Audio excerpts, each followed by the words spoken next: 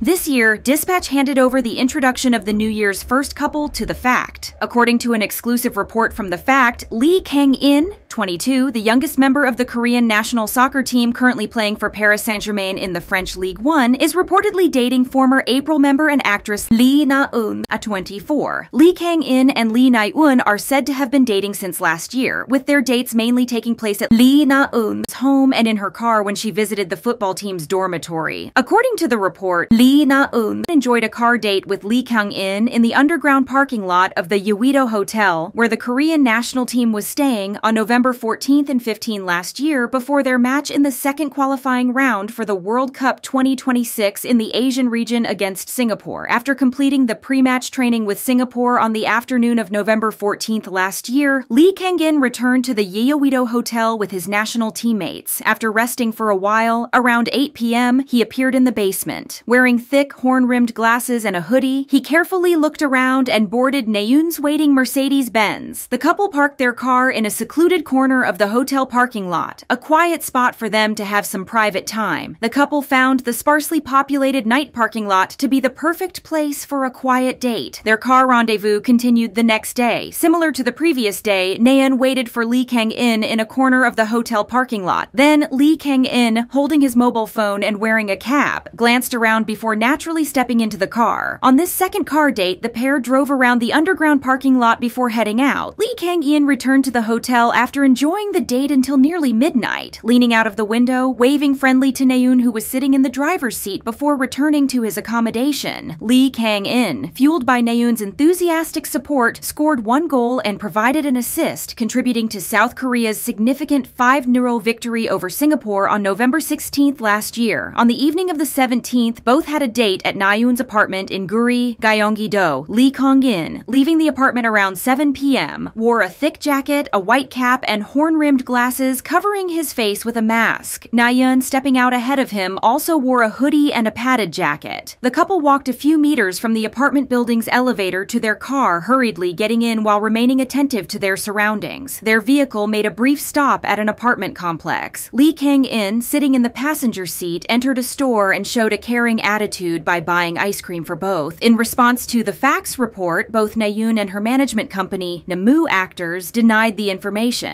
and Lee Kang-in's manager also had no statement to share.